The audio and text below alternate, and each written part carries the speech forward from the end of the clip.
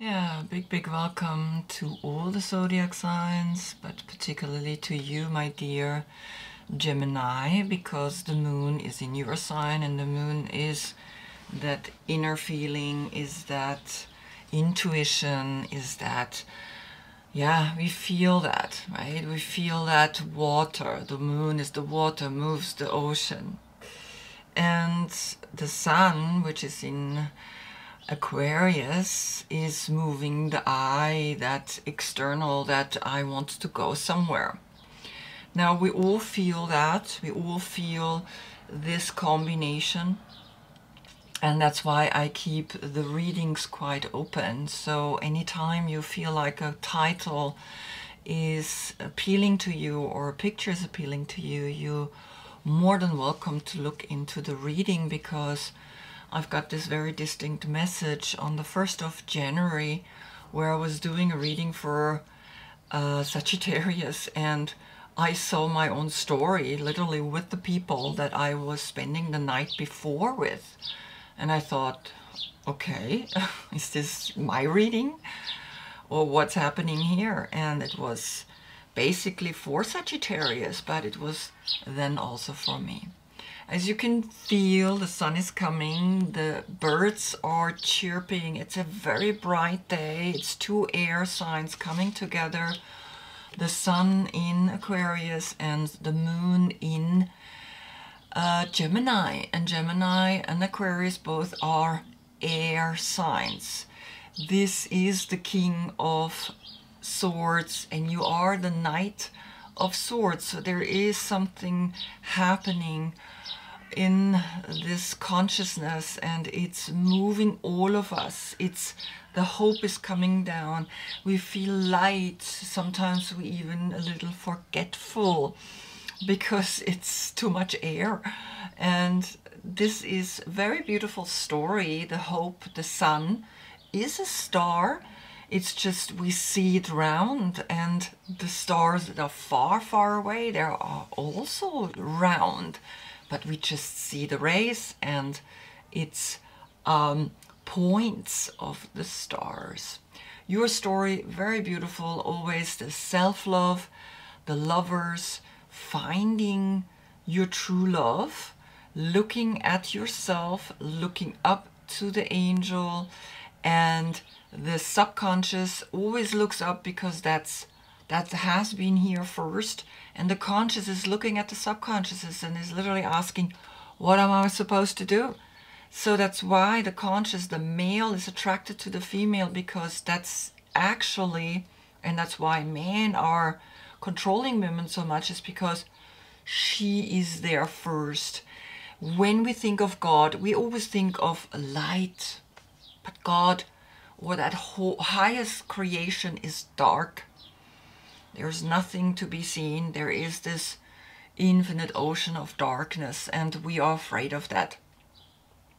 So, the work here is that this is um, this is the purpose. This gives us purpose. Hope never dies, they say. And this gives us the purpose to continue, and this highlights to the waxing moon um, the energy of consciousness. I want to find consciousness. I want to find awareness. I want to find the hope within this story, right? So the yoga positions that I have for the star is the side plank, holding one foot, being here in this position, up in the air and also grounded and in the water.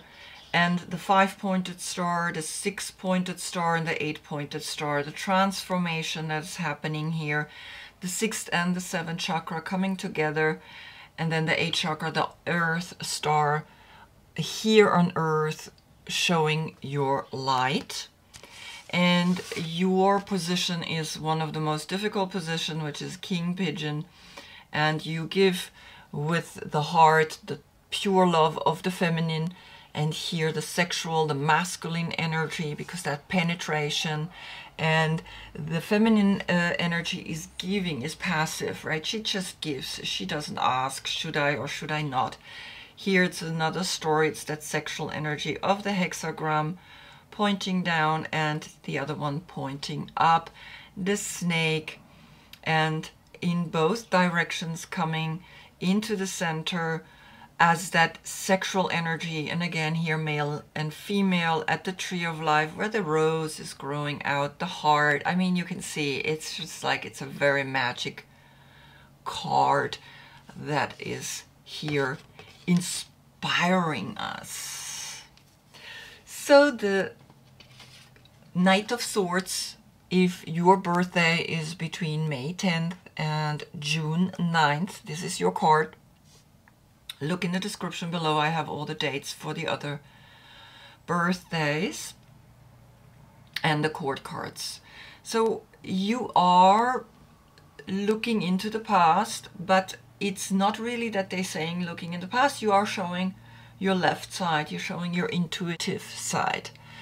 And you are holding the sword in your right, which is that masculine side, and the horse in your left hand and you give it the direction to move, literally move. Where you move, I have here the path of the medicine woman book and these are very beautiful energies, these Native American cards.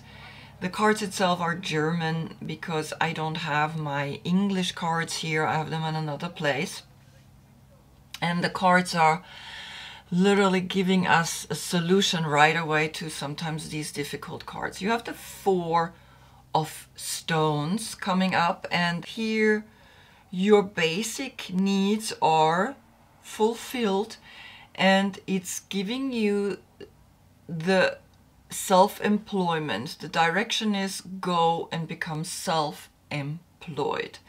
Start your own business what you got to do mentally prepare yourself to know when I'm self-employed how am I functioning I'm not a little wheel in a big wheel I'm becoming a bigger wheel of big wheels and you are creating now something worth to go for to go towards then from the creativity oracle this card came next.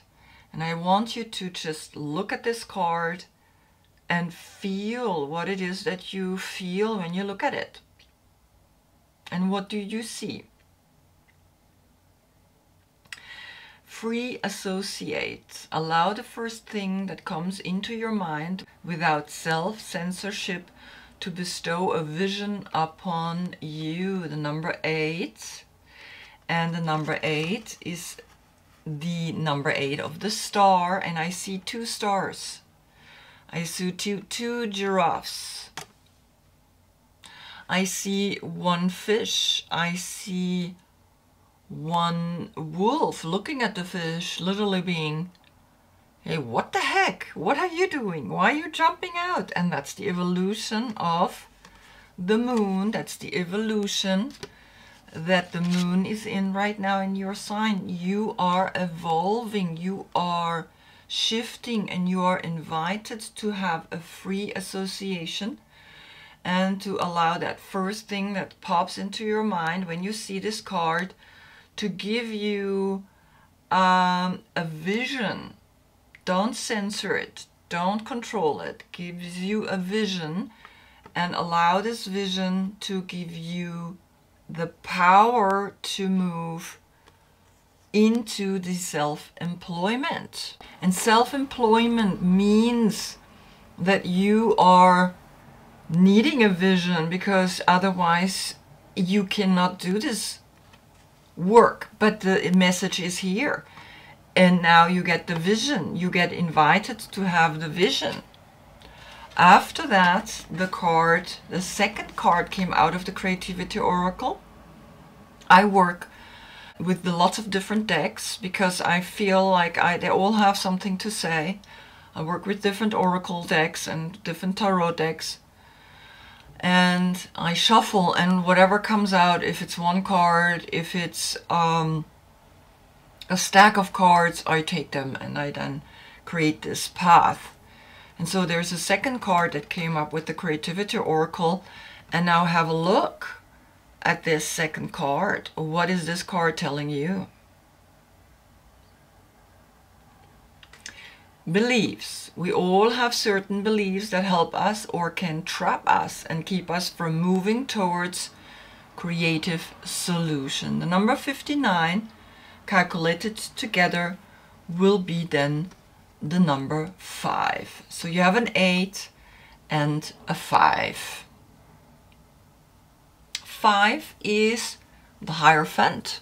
5 is the church. 5 are the institutions. 5 are the beliefs that we've been given as a child, as parents believed in certain things.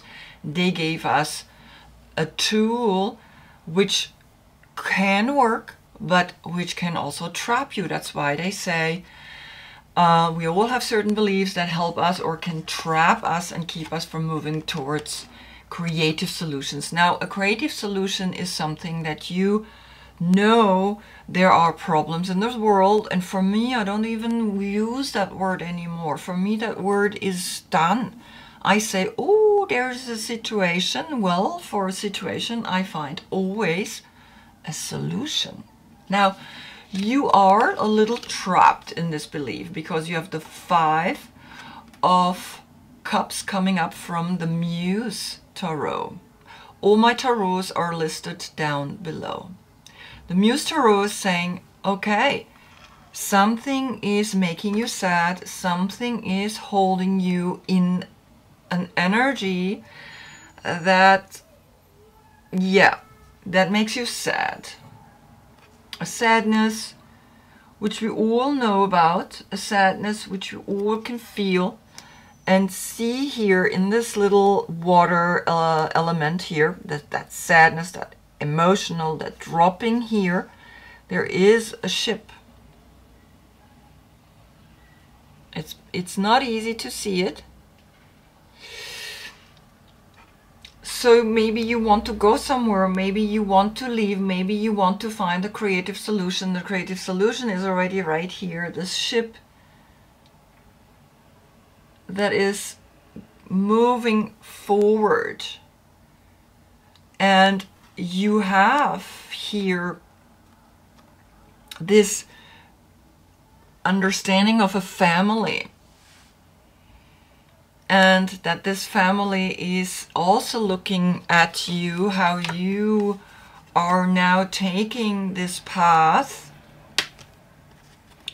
to self-employment and your family is kind of like, okay, what is he doing? At the same time, there's this fish jumping as well in this direction. There is this evolution because it doesn't matter, we can do a circle to the left, we can also do a circle to the right. So, the look at you, how you going towards the four of stones, how you going towards I need to do this because my intuition tells me that. Because today the moon in your sign is telling you I've got to really love myself to such an extent because this is about self-love that I can be self-employed, that I can create my own business. And they watching you. And here this dog is literally looking back and saying, okay, yeah, I'm going.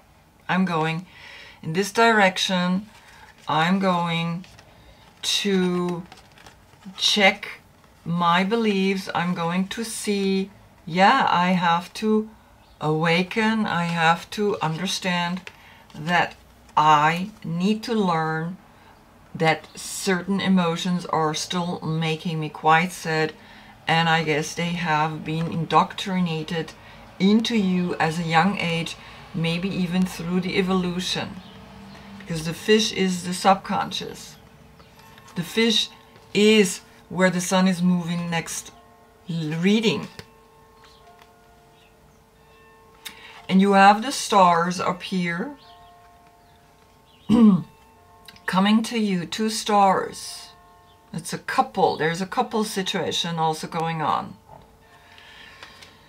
Then comes a very beautiful card, which is the dolphin. And the dolphin is literally saying, hey, don't be sad, don't go into the past, right? Go into the future. Go forward. Because, yes, you can go into the past and see what it is that you still need to do to become self employed with the four of stones, with the sun in Capricorn, which was last reading. You realize that being conscious of yourself, being conscious of a duality within you, of a consciousness that is seeking constantly the opposite, gives you power. And now you got the dolphin to be playful, to move forward. And this is a water sign and coming and saving you from this sadness. And the dolphin is innately intelligent, healer, light, and blessings. When in balance, active healer, strong spiritual practice. Wow. The gift of the dolphin are beyond what our human mind can grasp. Dolphin personalities are often drawn to the healing arts as they are sensitive to the subtle and enjoy working on the level of spirit. It's easy for dolphin types to underestimate the impact they make in the world. These creatures play such an important role in the wheel of karma that coming in contact with a dolphin type will change the entire course of your day and thus your life and it's it's clear it's speaking to you that this dolphin energy can be a person that comes to you and it's saying i help you to liberate yourself from your beliefs from a belief that is trapping you in an indoctrination of the church maybe because it's the five when we calculate the number together and the nine, it's a completion. There's a completion. There's a hermit energy here. And the hermit does have this kind of coat over him. The hermit does look like this. There isn't hermit energy. There is an ending. There is a completion happening. Helping you to get out. Helping you to see the value. A value of steadiness, of four, of groundedness of the emperor a groundedness that is saying now you can emotionally even go further and active heal yourself. You got to heal yourself because there is something that you need to shift. There is a sadness that is stuck within you and it's literally like the boat is saying yes. And you know how these dolphins jump in front of the boats? You follow this jumping dolphin because you some intuitively know that this is bringing you forward, that this is bringing you out of this sadness. This pure, amazing animal is giving you now the feeling, yes, jump, go and follow this jumping dolphin that is always jumping in front or next to the boats when they go and traverse the ocean, the deep ocean of healing.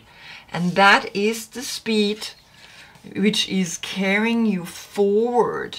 Amazing. That is the speed. It's giving you the understanding you can jump into six. You are the card number six.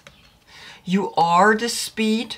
You are the fastest knight there is. You are Speedy Gonzales, we could actually say. You are the speed, and this is the number six. You are jumping forward and you are saying, Yes, I want to be like this dolphin. I want to go forward and jump. And where do you jump into is what is that belief, which is that the church has created a devil.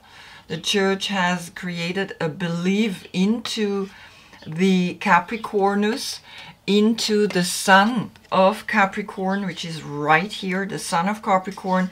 This is the sun of Capricorn. This is the major arcana. This is the devil. That is the attachment. And you are jumping literally over this energy and you're saying, I have understood that there are beliefs, that there are things, and you got in the free associate, the number eight, the hope. You got the star that is coming down, that is falling down and inspiring you. You got the understanding, hey, I've got to move forward and I literally have to jump out of this belief system and this sadness that this belief system has created within me. And it is, in a way, when we look at Jesus hanging on the cross, I mean, it's not just a pretty picture. I mean, I don't want to be part of that. I don't want to suffer. And that suffering is now coming out. And that's what the age of Pisces is showing us. The age of Pisces, Pisces is the evolution backwards through the zodiac signs. The age of Pisces, we're jumping into the age of Aquarius. And the Aquarius is coming down, is literally saying, yes, wake up, wake up, because this sadness has nothing to do with anything than uh, indoctrination, has to do with the belief system that is trying to hold you so that they can come and save you. You don't need to be saved. You save yourself. You're jumping over the devil, but the devil is not a negative energy. The devil is actually Pan, God Pan, with his pan flute. He's dancing, and you are literally dancing yourself out of this belief system because it's not a negative energy. This is also a number six. And this is speaking to you directly because this card has the same in the um, Rider-Waite deck.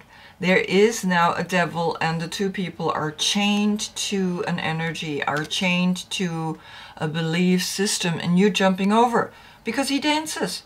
He's the goat that climbs up straight walls. I mean, this the goat does things. It's crazy. And it's exactly this. It's jumping. It's doing things. You're jumping over and where do you jumping over? You're jumping over the devil and literally landing in this nest, a nest that is giving you now the new understanding of you take care of yourself, the protective nest, the number seven, the six, six, jumping into the seven, jumping into the higher consciousness, which is always in your head, and jumping forward and realizing you are have created now a portal when you find yourself when you love yourself when you absolutely open both in your sexuality and in your heart then you understand that the movement forward is into the seven from six to seven. And yes you have released yourself out of this belief system have shifted and have landed in the protective nest in the number 25, the 7. Wow, what a message into here. A bird that is looking at you saying, yes, come, come, jump into this consciousness, into this awareness, into this um, beautiful energy, right? He's like, you are literally jumping and healing yourself. And then comes the four of fire. And the four of fire is again, like, I'm putting this one down, like the Four of Stones, it's stability in creating now something that is helping you. What actions do you have to take to be self employed? What you need to do to create or act upon? You cannot think only about it. You cannot only be mentally active and yes, this is where I want to go and this is what I want to do. You also need to do. You also need to use the material side. You need to incorporate everything to that you can create what you want to create. And here comes the four of fire. Here comes the pan, the, the, the pan flute. You see that? The music, you're using the music, you jumped into the seven and now you keep moving forward because four of Capricornus, four of here, you jumping through it. Wow, so cool, right? You're really jumping through it and you are continuing to dancing, you're continuing to enjoying yourself, you continue again to realize, hey, there is an indoctrination that is now freeing myself so that I can sit here, spread my wings like this bird and play the pan flute. You see this? She's playing the flute. She's liberating the devil from a negative perspective, and that's the darkest month of the year. And then comes the Vision Quest. And the Vision Quest is the number 60. Again, the number 6. 6 and 0. Look at this. 6, 6, 6. I mean, this is crazy. You have a 666 portal through the 7 and you have a 4-4 portal. I mean, this is uh, so empowering. Liberating yourself through the Hermit and the Nine, the um, Hierophant and the Hermit together helping you to relieve all these beliefs, all these sadnesses, all these. Look, he's dressed like the hermit.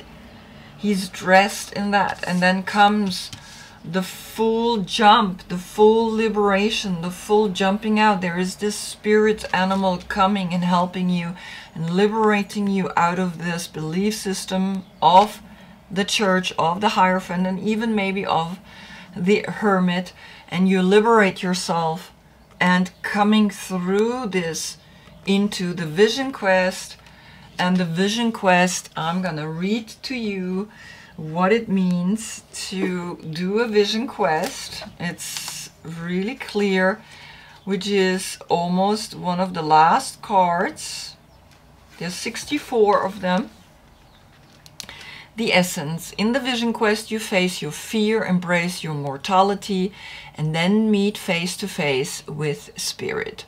When we feel stagnant, a vision quest brings our lives into perspective. We realize our flaws, our potential, and the opportunities life is now offering us. We remain on a vision quest until we find the key to open a new door or write a new chapter in our lives. Oh my God. So find clarity by spending time alone in nature. Go outside the city and walk in parks or in the big forest and get off the couch, get away from your desk, go outside. And Spirit helps those who help themselves, who heal themselves, who realize that yes, I need to heal myself from this belief system. I need to realize that this belief system is making me sad. You see the blue, you see the blue here, and you jumping. you jumping because you're realizing that's the only way by actively doing something, by actively being part of a movement you can get out of something that was indoctrinated into you a long time ago. For 2000 years, there was a devil. For 2000 years, there was a movement, the five, there was something that gave us beliefs, and these beliefs are now coming out of us, are now through tears, through the emotions, are being released because there is the dolphin, because there is the number six, because there is the dancing devil, the devil dances, right? Is in the pan flute, is in panic, is in the pandemic. We got to dance, we got to do it, we got to evolve and shift. And again, there is a message from me. Very clear, very strong. I know exactly what to do. And it's again giving me a clear message. Hey, yes, you got to do what you have in your mind. And as you can see, the fish is jumping into the past, but we're going forward into the sun is going into Pisces, is shifting and giving you the understanding that the big cycle is moving backwards. The big cycle is saying yes, become independent, become self independent. Look also into this side but the circle can be go in both directions. And it depends now how you want to evolve. And when you walk because that's what Pisces is about you walk you're touching your feet. When you touch your feet you're touching the fish. You're touching Pisces. Then you understand when you walk it's a circle you always come back to yourself. You're walking somewhere, You're flying somewhere, but it's always you coming back to yourself. It's constantly head and feet come together. So if you feel like, get into the yoga positions and see how difficult it is to do this pose. But you are learning to release a belief that has trapped you, that has hold you and liberates you go and start doing a vision quest. Wow, what a powerful message. Really amazing. Also for me, there is something very clear that I have to do and I will do it. And uh, wow, I thank you so much for watching. I hope I see you in another reading when the title or the picture is appealing to you. Until then, I thank you so, so much. Namaste.